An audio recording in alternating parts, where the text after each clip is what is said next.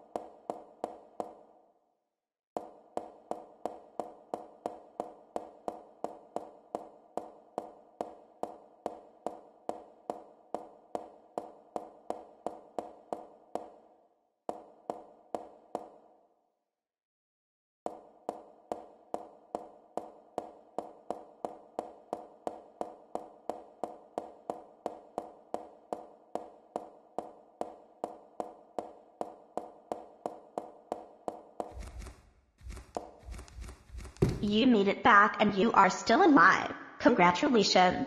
Thank you. Now there's something I must tell you.